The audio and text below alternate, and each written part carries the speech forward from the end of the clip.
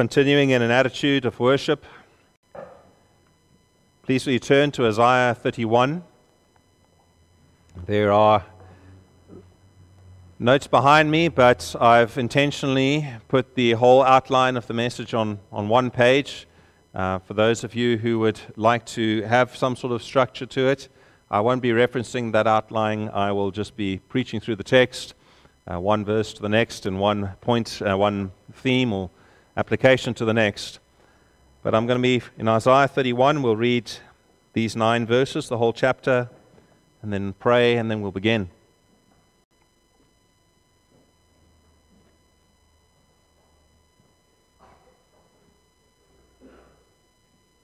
Isaiah 31. Woe to those who go down to Egypt for help and rely on horses, who trust in chariots because they are many, and in horsemen because they are very strong, but do not look to the Holy One of Israel or consult the Lord. And yet he is wise and brings disaster. He does not call back his words, but will arise against the house of the evildoers and against the helpers of those who work iniquity. The Egyptians are man and not God, and their horses are flesh and not spirit. When the Lord stretches out his hand, the helper will stumble, and he who is helped will fall, and they will all perish together. For thus the Lord said to me, as a lion or a young lion growls over his prey, and when a band of shepherds is called out against him, is not terrified by their shouting or daunted at their noise, so the Lord of hosts will come down to fight on Mount Zion and on its hill. Like birds hovering, so the Lord of hosts will protect Jerusalem. He will protect and deliver it. He will spare and rescue it. Turn to him from whom people have deeply revolted, O children of Israel. For in that day everyone shall cast away his idols of silver and his idols of gold, which your hands have simply made for you. And the Assyrian shall fall by a sword, but not of man. And a sword not of man shall devour him. And he shall flee from the sword, and his young men shall be put to forced labor.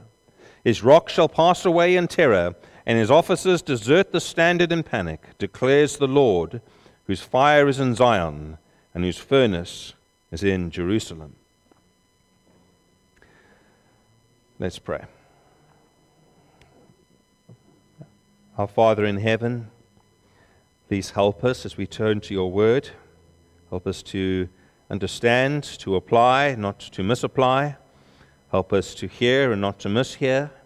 Give us wisdom in all things we ask, for your name's sake. Amen.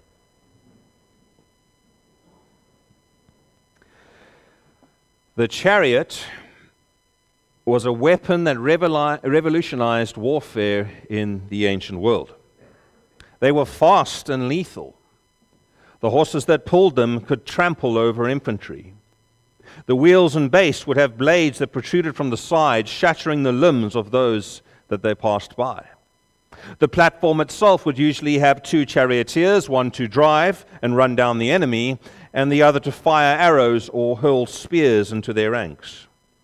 And the overall effect was one of shock and awe, slicing through the ranks of the enemy or harassing them mercilessly in retreat. An army's strength was often measured in its ability to field chariot divisions, and their skill in the field was much the same measured by this, as much the same as militaries today in the, or in the last hundred years have counted dreadnoughts or tanks or aircraft or missiles or most recently drones uh, to measure their power. To have a force of chariots at your disposal was the ability to project your will upon others. And because warfare in the ancient world was often a, a formal affair, lining up and arranging a, a meet date to go and fight, not the stealth and the camouflage of operations today, it was not unheard of for chariots to be decorated elaborately with, with pictures and with color. The overall effect would be to have something as flamboyant as a Ferrari, uh, but with the shock value of a Tiger tank blitzing across the battlefield. And the charioteers themselves were a bit like fighter jocks. They were a class unto their own, admired and elite, cut above all the regular grunts, also they regarded themselves. And you can bet that every little boy rushing around with a stick in his hand, using it as a sword, pretending to fight the baddies, wanted to be a chariot driver. To be the one riding that sleek, dashing vehicle, to be surging across the plains with the wind in his hair and laughing in triumph. Now, this was a thing of beauty and speed and even honor. But it was Egypt in particular that became associated with chariots, and they were the, one of the premier superpowers for centuries. In fact, uh, Tutankhamun's tomb even had a number of well preserved chariots in it, so uh, we, we know what they look like. Nice, shiny chariots, and who wouldn't want one? In the year 1247 BC, Ramesses II won a famous tactical victory over the Hittites in one of the great chariot battles of history at Kadesh. And all through the Old Testament, over and over again, over 140 times, chariots are mentioned. Joseph rode a chariot like a limo when he was eventually honored in Egypt. And of course, you remember Exodus, 17, how Pharaoh sent his chariots to run down and capture the Israelites at the Red Sea, and how they were, were crushed and swept away by the waters uh, as God acted to save them. The Canaanite cities that Joshua fought against fielded many chariots. And in our series on Judges, you would have heard about Sisera and his chariots of iron. King Saul fought against a coalition of Philistines, numbering many thousands of chariots. King David hamstrung the chariot horses of his enemies to neutralize their power. King Solomon had over 1,400 chariots whom he stationed in the chariot cities and with the king in Jerusalem. And when God came for Elijah, he came with chariots of fire. Over and again, they are mentioned.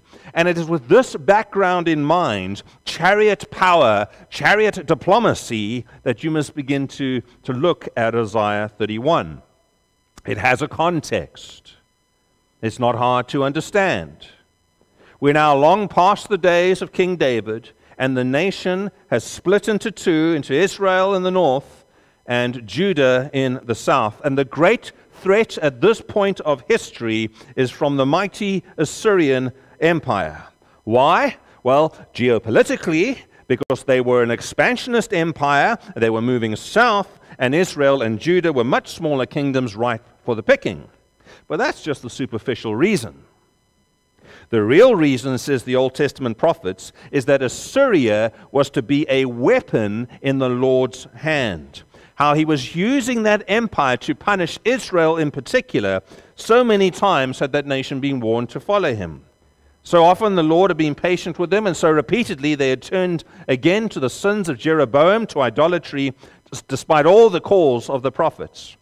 And eventually, God said, Enough is enough. He stirred up their enemies to encroach upon their, power, their region and to come against them in a series of devastating judgment, using evil to punish evil, using Assyria to punish Israel. And their response what did Israel do? Did they repent? No, they did not. Uh, they looked to the north, they saw the Assyrian juggernaut coming. They looked to the east, and they saw more Assyrian territory and just some hot, dusty deserts. They looked to the west, they saw the Mediterranean Sea, and there's no help coming from that quarter. But then they looked to the south, and they saw Egypt. A traditional enemy to all the empires coming out the north, like the Hittites, who they defeated at Kadesh. And so Israel's heart, it, it skipped a beat and their spirits were raised, and their hope rekindled, and they thought to themselves, There lies our salvation. There's the answer. The enemy of the enemy of my enemy is my friend. So, so let's send a message to Pharaoh. And did I mention how nice and shiny their chariots were? But soon it all fell apart, and in the year 722 BC, Israel and its capital, Samaria, were utterly ruined. They were conquered and enslaved and exiled to Assyria and that would seem to be the end of the story for them and the end of the story, but it is not.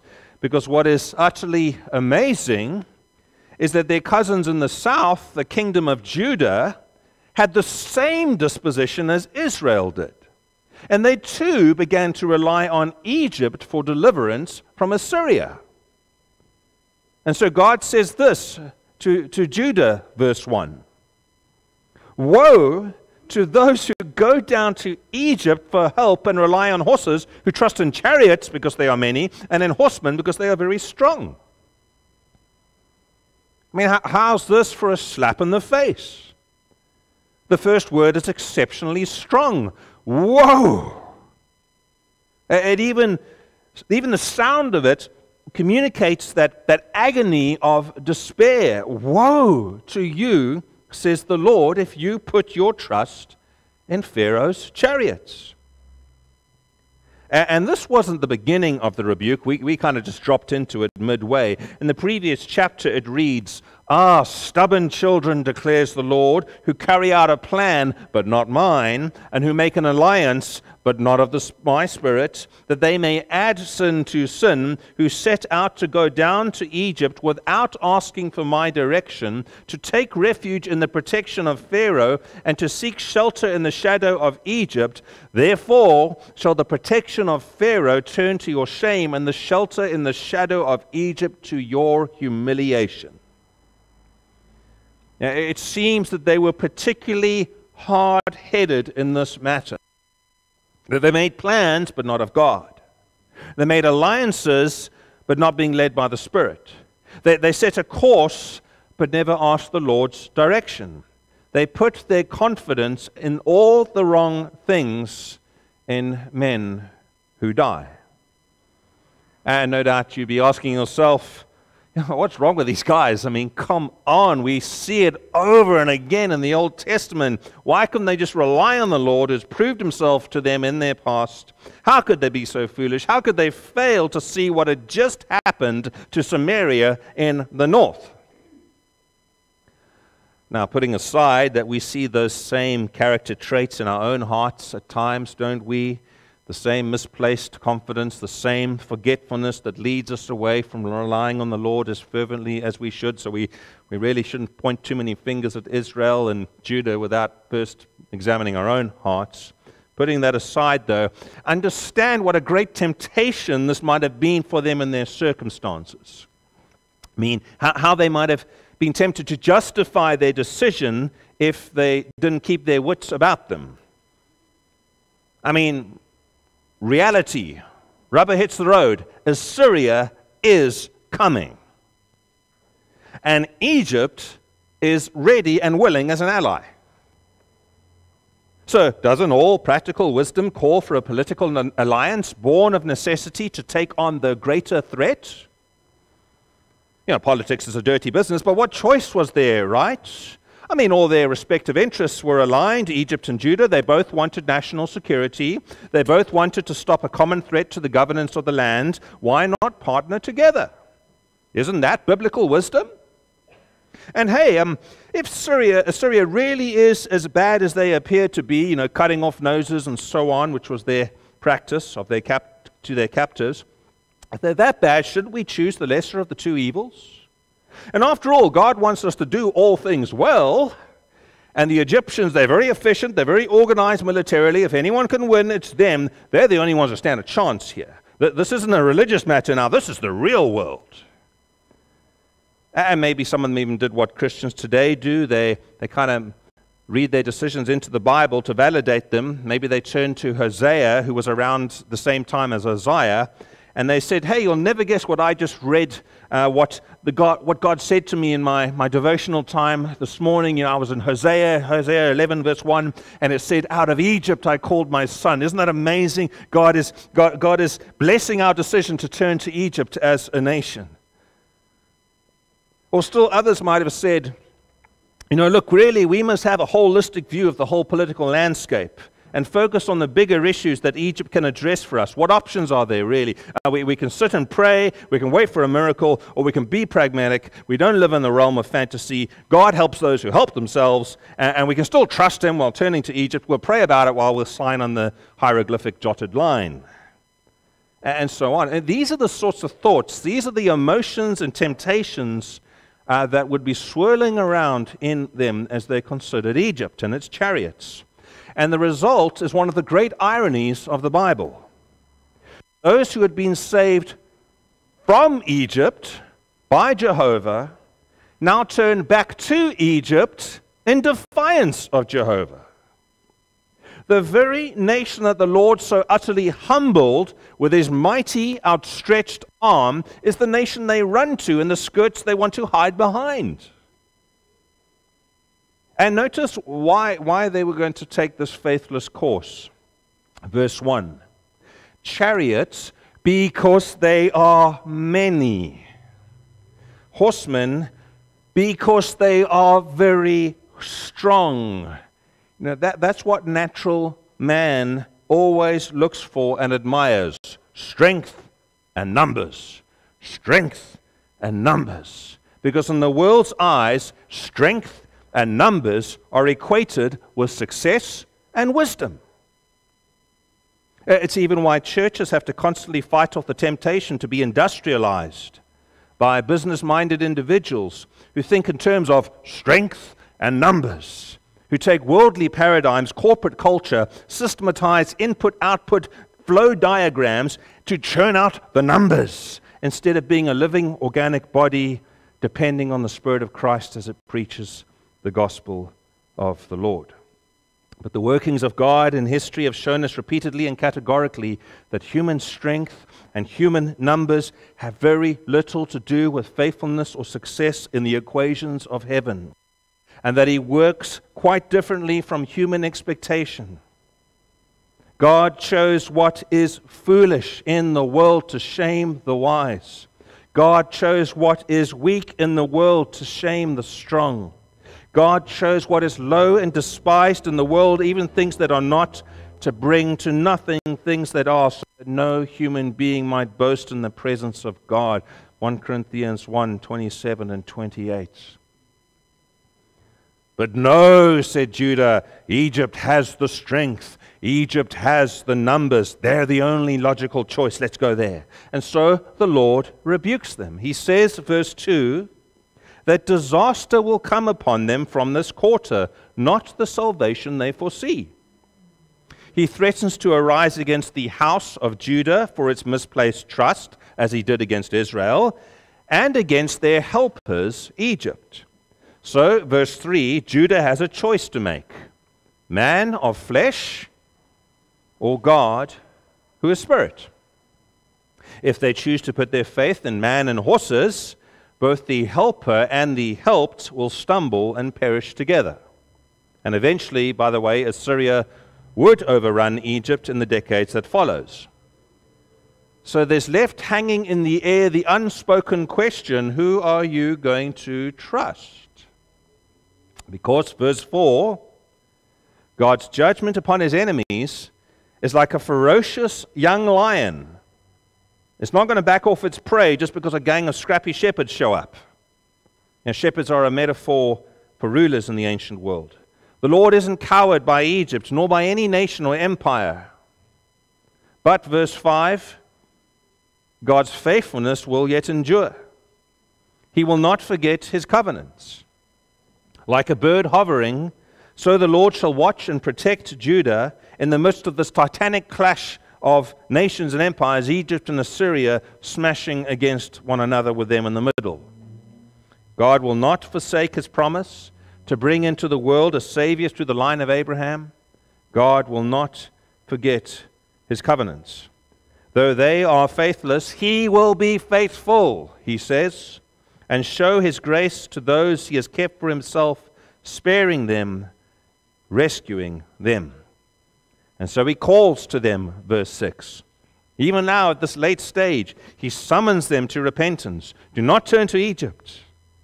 Turn to him from whom you have deeply revolted, O children of Israel. Cast away the idols.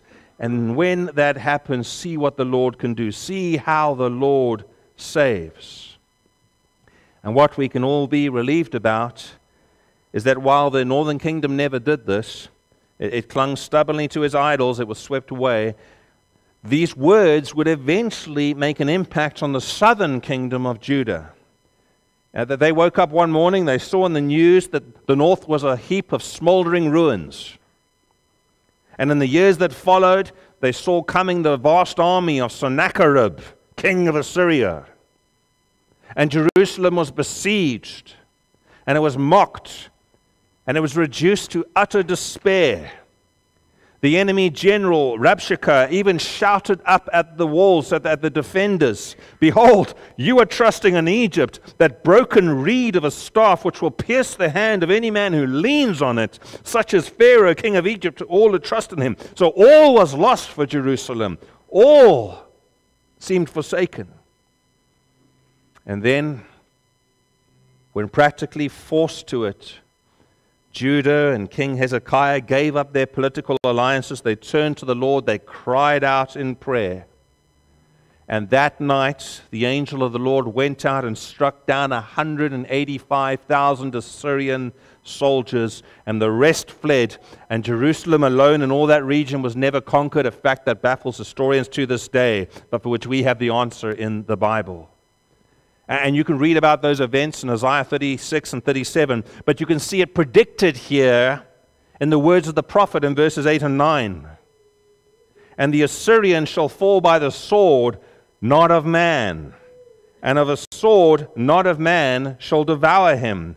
And he shall flee from the sword, and his young men shall be put to forced labor. His rock shall pass away in terror, and his officers desert and the standard in panic, declares the Lord whose fire is in Zion and his furnace is in Jerusalem. And that's exactly what happened. The army was struck down by the angel of the Lord. They fled. Sennacherib died, and the nation of Assyria eventually gave way to nations that followed. So the victory would be seen to belong to the Lord.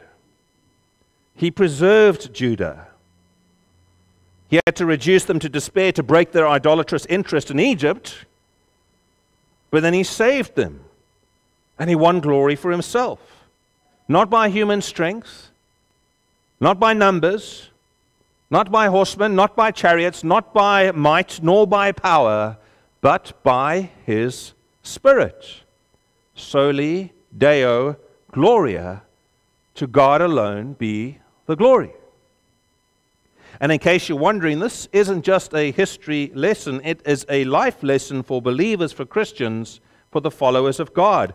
Be careful what you trust in. Be careful in your alliances. Beware the scourge of pragmatism upon the modern church.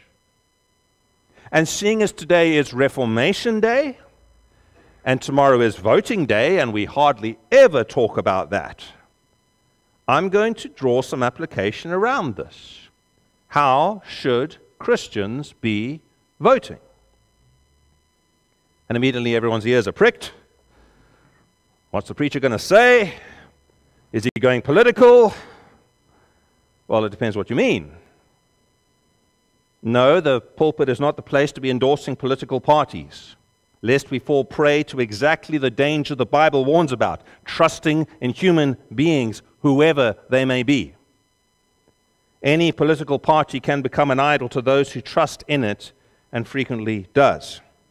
Nor am I suggesting that Isaiah 31 is about voting. It's not about voting, it's about trust and choices and alliances. That's what it's about. And God's faithfulness and sovereignty to his word. Nor is it the prerogative of the church to become the state. We're not looking to create a new theocracy that has never worked well in the last 2,000 years that has been tried. Rather, our mandate as the church is to proclaim the gospel that saves sinners from hell. And true reformation and revival does not come about through politics, but by the Spirit of the living God. No, we're not going political. But if you mean, do elections and does voting fall in the scope of Christian decision making, then the answer is yes, of course it does. Soli Deo Gloria. Whether you eat or drink or whatever you do, do all to the glory of God, including voting in a democracy. This is not an area from which any Christian can suddenly disengage their biblical worldview and start to think like a pagan again. It's an area that must fall squarely within the light of Scripture, being informed and controlled by it. Now, I'm not attempting to say all that could or should be said in this very limited uh, time. I'm just reiterating the point that Isaiah made for us, namely that salvation is of the Lord, so be careful who you trust in. Be careful with whom you ally. strength and numbers are not factors to be considered. God's will and God's glory is what must control us. You say, but Christians can't even see eye to eye on what, uh, what, what should be what in the voting booth. And that's true. It may interest you uh, that neither did the reformers see eye to eye on all these things. Like us, they had diverse opinions about what the state should look like, where authority lay, and those reformers sometimes changed or moderated their views as they grew older. And what, what a relief to know that they're like us, that they're imperfect, that they didn't get it right the first time, and they didn't get it right all the time. Uh, for instance, the, the early Baptists, the Anabaptists, they rejected all civil government, saying that it existed only to control unbelievers, and that believers didn't need any control because we're quite capable of ruling ourselves. Then Martin Luther well, he said that the state ruled in everything but stopped at the foot of the pulpit.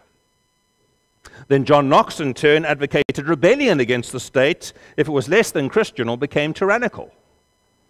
Then John Calvin felt that there was a role for the church in the state while remaining separate, even as he denied the idea of the, right, the birthright of rulers and, and was quite happy to include some elections.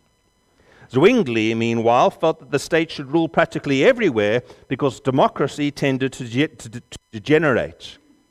He said, No man suffers himself to be held in check, and instead each one claims the power of the state as his own, and each one follows his own reckless desires, Hence, there arise unrestrained conspiracies and factions, followed by bloodshed, plundering, injustice, and all other evils of treason and sedition. And it sounds a lot like what many Western democracies are facing today. He was practically prophetic on that point.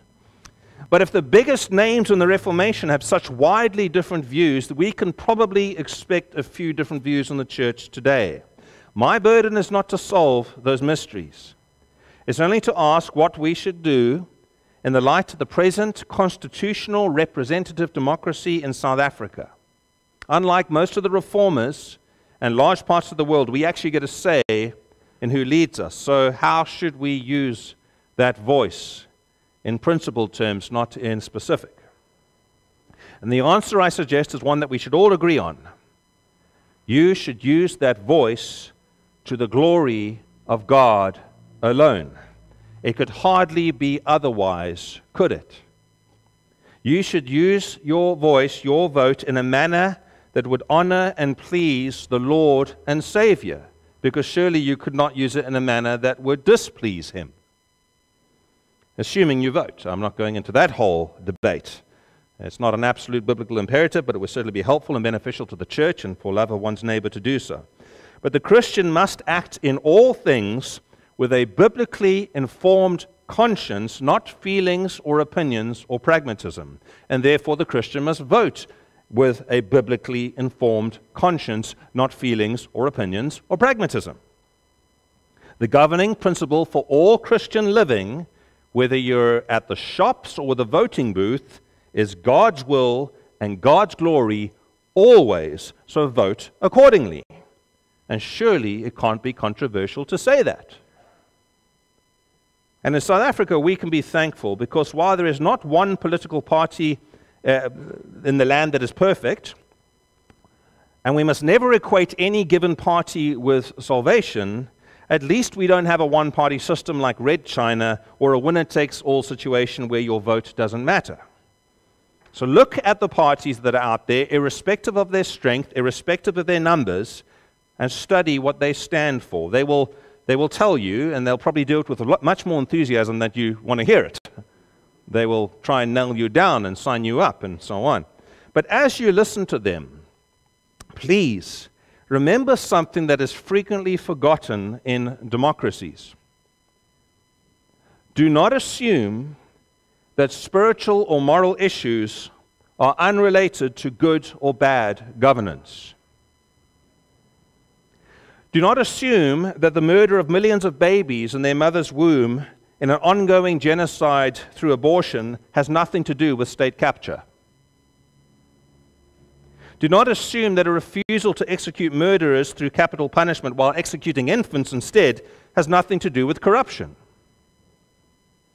Do not assume that state sanctioned sexual immorality and attacks on marriage have nothing to do with mismanagement at a local municipal level. Do not assume that godlessness has nothing to do with service delivery. Someone says, Well, what on earth do you mean? These things are separate issues entirely, they have nothing to do with each other. Really? Where in the Bible does it say that a nation's morality and its well being are unrelated? Where in the Bible does it say that the sins of the people are unrelated to the quality of its rulers? Where does it say that land soaked in the blood of innocents will not produce a fearful response from the judge of all the earth, whatever that response, whatever form it may take? You can scour the Word of God to find all sorts of warnings in this regard. Romans 1 Godlessness plainly leads to wickedness. Judges 9 speaks about the Lord stirring the leaders of Shechem to act wickedly and self destructively, not because they had the wrong political ideology, but because they, or because they didn't have the necessary business qualifications, but because they were spiritually and morally wicked.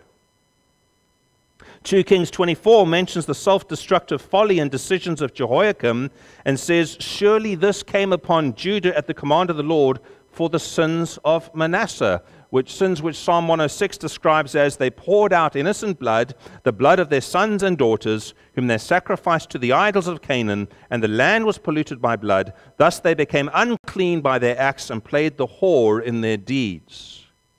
You see, it wasn't only that they had bad leaders and therefore that the nation went bad, it's that the nation was bad and therefore God gave them bad leaders as a, as a punishment. Uh, that was a point that was well made by Andrew in his sermons on Kings Jehoahaz and Jehoiakim, one of whom was actually elected by the people, by the way. Again, stated more positively, Deuteronomy 19 says to Israel that they should purge the guilt of innocent blood, execute the murderer, in other words, so that all may be well with you. Uh, they're faithful in this, the nation will prosper, he says. They're faithless in this, the nation will regress. In other words, get the biblical basics right, and the other things start to come right. Neglect the basics, turn to the wisdom of man, and society goes backwards, which is what is starting to happen increasingly in the post Christian countries of this world because they turn from the Lord who is spirit and trust in man who is flesh. But what this means, Christian brothers and sisters, is come election time, we are not to allow the world to frame the issues that should concern us and offer us nice, shiny chariots as solutions. Rather, we are to look at the biblical record and the biblical solutions, and we will see that God's concerns are frequently different from what we see placarded on all the lampposts on every corner of our city. That perhaps there are bigger issues than potholes to contend with. So, as a Christian first and a South African second, examine what are the priorities of the political parties and see how closely they align with the Lord's revealed will. Keep it simple. Is the party I am voting for God fearing while promoting righteousness, or are they godless and promoting wickedness? That's pretty simple. God fearing and righteous godless, promoting wickedness? Do the people I am electing to rule over this nation fear and acknowledge the living God who is jealous for his glory, or are they utterly indifferent to him, his will, his word, and his ways? And what sort of government ultimately can I expect from them based on their own godless or God fearing manifesto? What sort of government will it be if it's headed by godless people who frequently flip flop with the winds of change and fear of man? And what sort of government will it be if they rule in fear of God? Now, as the examples of the reformers show us, we may disagree along the way around issues of governance. But whatever your decision tomorrow, and if you're terribly offended by anything I've said, whatever your decision tomorrow, come back to this. Let it be a prayerful decision exhibiting faith in Christ and supremely concerned with his honor and his glory, because you are to do all things to the glory of God alone. Surely we agree on that. Remember the lesson of Isaiah, which I'll summarize to you again. Not about voting. The lesson is be careful who you trust in. Be careful about whom you ally, with whom you ally. Pragmatism through strength and numbers is not an indicator of success or wisdom. The fear of the Lord is the beginning of wisdom. You go wrong there, you go wrong everywhere. So remember God's will, remember God's glory, and go mark your X wherever you like, wherever your conscience would put it. And like the reformers, and like the prophets and all the apostles, like Isaiah himself and the chapters that follow, even the next chapter, remember most of all that true hope for South Africa and all the nations of the earth is not by reform in the political realm, but by revival in individual hearts. As Charles Spurgeon said, great schemes of socialism have been tried and found wanting. Let us look to regeneration by the Son of God, and we shall not look in vain. What does South Africa need most? It needs the gospel of Jesus Christ. Our problems are still spiritual in nature in this land. We have become a people, a nation that does not trust God, that is not Christian, despite the ridiculous statistics which say that 70% of the population is. What absolute nonsense. We are a nation like others that is full of godlessness that leads to wickedness. A nation of idolatry that does not seek the Lord despite claiming to do so every time we sing the national anthem. And as Zwingli made clear, no democracy and therefore no political party, no matter what it is, deals with spiritual depravity in the heart, deals with the turning of sin within. So we're not to look to the West for the answers. Overseas to the Western world, there's no help from that quarter. And we're not to look to the east across the deserts and mountains to Beijing's economic clout and ideologies. Salvation is not from there. We're not to look to the north to Pan African interest. There's no deliverance there. We're not to be attracted to strength, nor to numbers, not to trust in men of flesh who die, but we look to the Lord who is spirit. We fall on our knees and we beseech Him to change the hearts of sinners that they might be saved. Our country needs to hear and obey the good news. The Son of God died on the cross and rose again that he is the ruler of the kings of the earth, and he is coming again in righteous judgment. But that any who repent of their sins and put their whole faith in him and his work and his words will be forgiven and will live under his benevolent lordship both in this life and into the ages to come. South Africa needs to confess the solas of the Reformation to God's glory by grace through faith in Christ. It needs to confess the words of Scripture alone. Psalm 20, verse 7. Some trust in chariots and some in horses, but we trust in the name of the Lord our God. Let us pray.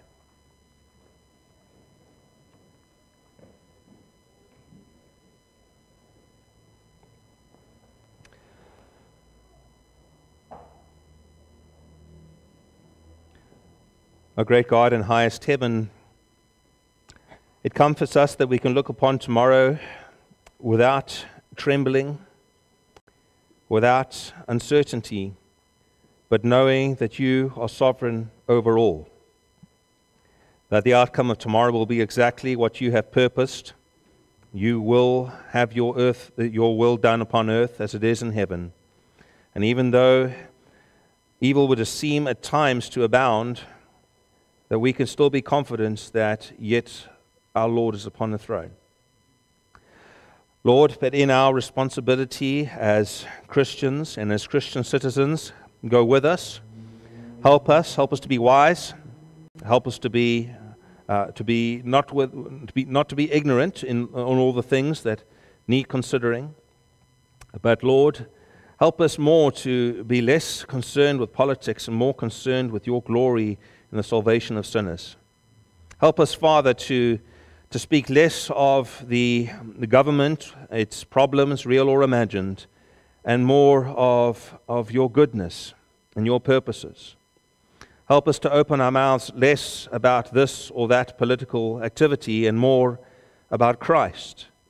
And may the gospel be found readily upon our lips, full of wonder and praise to accompany it.